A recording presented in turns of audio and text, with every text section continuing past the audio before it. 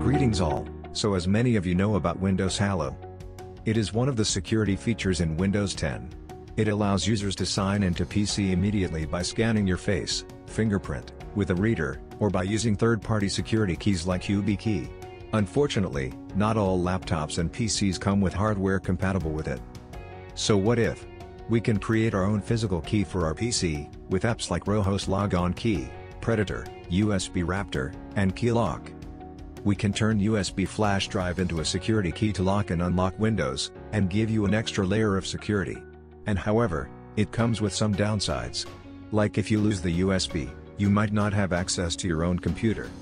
So in today's video, we're going to use Rohos Logon Key. Rohos Logon Key has a free and paid version available. You can download by clicking download now. So after installing open Rohos Logon Key. These apps work by scanning USB drives for a necessary file that keeps the PC unlocked. When you remove the USB stick, the file can no longer be found, so your PC locks up.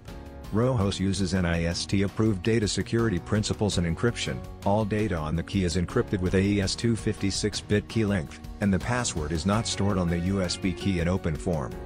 Click Setup Authentication Key. Now connect a USB stick or memory card and Rohos will automatically detect it. Now write your password and click Setup Key. So we have now created the key. On clicking options you can set up USB key removal behavior.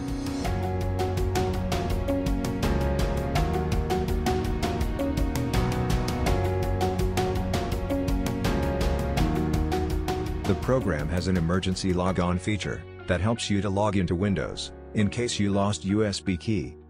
Click on More, we'll give some advanced options like, hitting Rohos icon image on the login screen, check USB key serial, Protect Safe Mode Boot with USB key. Open users and keys. Rohos maintains its own record of users who have a key for Windows authentication. And a list of registered keys. By clicking Set up OTP token, we can set up a one-time password with Google Authenticator. Click Display QR code, and scan the QR code, with the Google Authenticator app. Now we can remove the USB stick and lock the PC.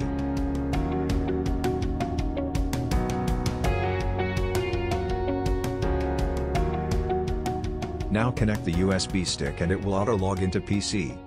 So now onwards we can just insert and remove USB stick, to lock and unlock our PC.